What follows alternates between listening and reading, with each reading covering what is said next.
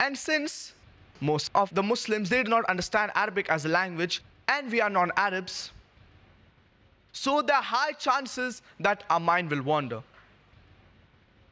To prevent our mind from wandering, besides reciting the Arabic text, we should simultaneously recall the meaning of what we are reciting in the language we understand the best.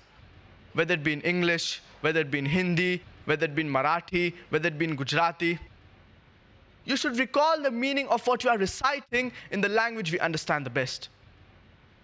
For example, if you recite Surah Fatiha, Bismillah ar-Rahman ar-Rahim, in the name of Allah, the most gracious, most merciful.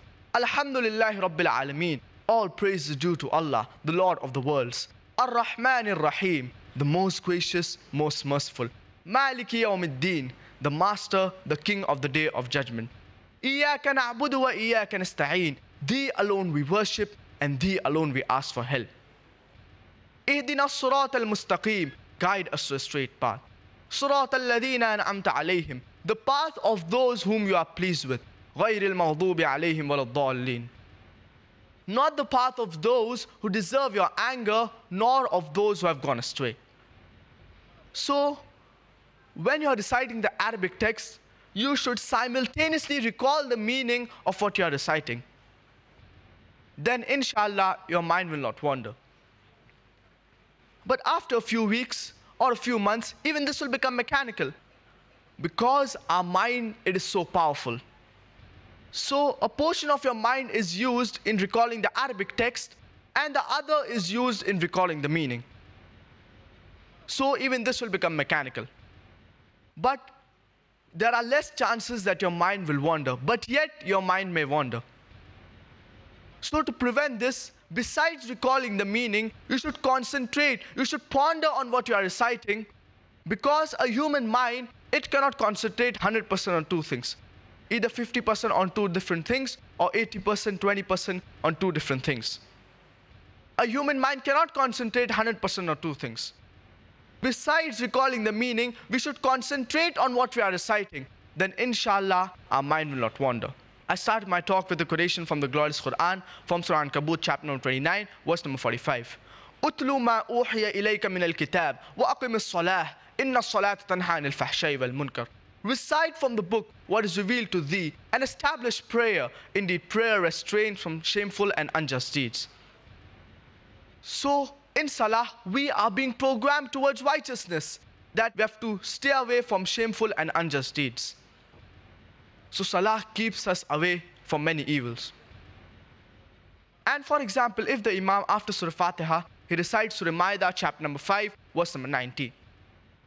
Ya ayyuhalladhina amanu, O you who believe, innamal khamru wal maisiru, most certainly intoxicants and gambling, wal ansab wal azlam, dedication of stones, divination of arrows, ritsum min amal shaitan, are an abomination from Satan's handiwork. فَاجْتَنِبُوهُ لَعَلَّكُمْ تُفْلِحُونَ Then abstain from such abomination that ye may prosper. In Salah, we are being programmed towards righteousness. That alcohol is prohibited, gambling is prohibited, fortune telling is prohibited. We are being programmed towards righteousness. And if the Imam after Surah Fatiha, he recites Surah Ma'idah, chapter number 5, verse number 3.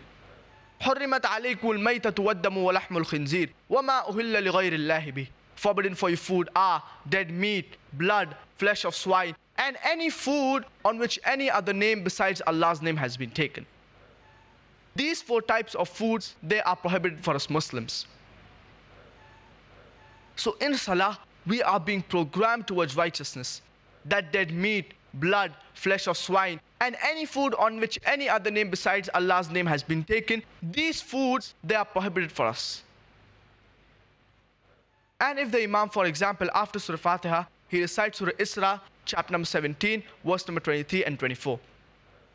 وقضى ربك ألا تعبدوا إلا إياه وبالوالدين إحسانا إما يبلغن عندك الكبر أحدهما أو كلاهما فلا تقل لهما أف ولا تنحرهما وقل لهما قولا كريما واخفض لهما جناح الذل من الرحمة وقل رب ارحمهما كما ربياني صغيرا And the Lord has decreed that you worship none but Him and to be kind to your parents, whether one or both of them attain old age.